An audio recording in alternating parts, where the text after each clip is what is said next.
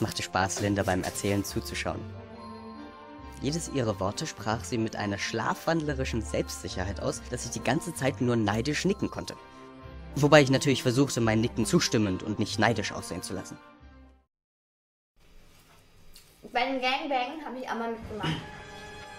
War als Erfahrung nicht schlecht, aber nochmal würde ich es auch nicht machen.